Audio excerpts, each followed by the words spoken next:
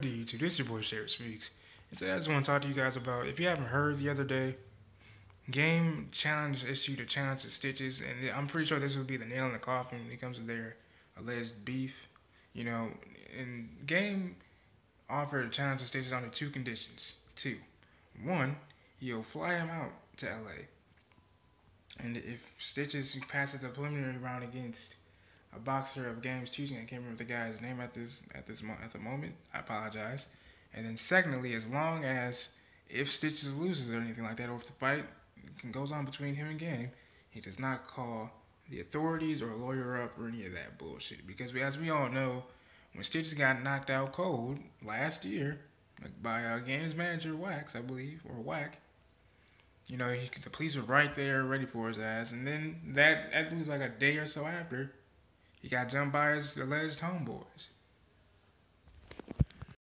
Sorry about that, I had to sneeze. Anyway, as I was saying, you know, those are the two conditions. You cannot lawyer up if you get your ass whooped or even if the fight is on. Two, you know, you just pretty much, yeah, you have to be able to pass the preliminary round.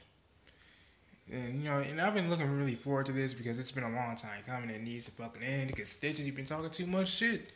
Anybody can get on social media with a loaded ass real gun and talk shit to somebody and then get slept right in front of the nigga. And the thing is, you can, but I will give Stitches a little credit for having some balls and going up to games saying that shit. You know, because not many niggas do that, especially if you flexing on the gram. You know, so you know if this shit if this shit goes down, I cannot wait to see it. I want to see the shit on World Star or some shit. Like, come on, I, I really want to see this shit. I really do, cause it's been a long time overdue. And who doesn't want to see Stitches get his, Stitches get his ass whipped? I mean, he already took two L's for Christ's sake last year. Took more L's than Meek Mill, or, or at least like a damn tie.